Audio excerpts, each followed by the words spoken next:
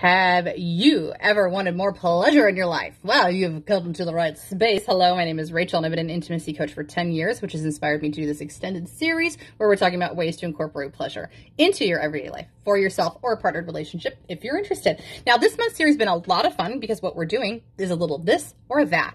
This or that when we're talking about actual intimacy products that you could use it in your bedroom life, outside your bedroom, or just be inspired by. And what's really, really fun about this is that this one has been uh, particularly extensive when we talk about wild products, mild products, and everything in between. And the reason that's important to me is because we really want to validate wherever you are in your intimacy journey and then hopefully become comfortable to expand upon that at some point.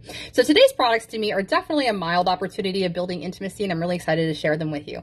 Now, these are actually very, very popular products. A lot of people have seen these before. Uh, so with the, the company that I partner with, this is called a hot heart massager. Uh, and this is a really, really universally um, versatile tool. Uh, and a lot of people have seen these before, like I said. So the one I'm going to share this against here is a product that's called the Heart Throb. Okay. So the way this works is that if you're deciding to get a heart massager, both of these do the exact same thing. So I'm going to show you on this one in particular. You'll see that this is a little liquid, um, little heart, right? And then there's a little metal disc. Okay. What happens when you pop that disc, you just heard that snap, is a little chemical reaction is starting in this hot heart where now, as a, you can see, it's completely changed texture. It's a little slushy now. This gets to 104 degrees. Ugh amazing, right? So not only can we use this as all over body massagers, we can use this for aches and pains. We can use this uh, massage with a partner. We can use this for menstrual cramping. We can use this as hand warmers. We can use this for milk letdown.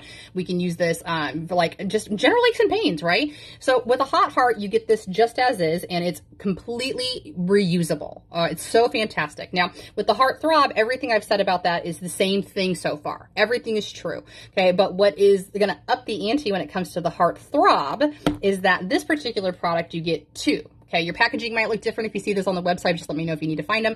Okay, you get two of these. But even furthermore, which is so cool, is that they have these little handles on them. So now we have hands-free massage, right? We don't have that with this guy. That's okay. Uh, but one more up the ante is that the Heart Throb for each of these little packs comes with a mini vibrator that you can also put in the pocket of that. So now you have heat and vibration with your partner.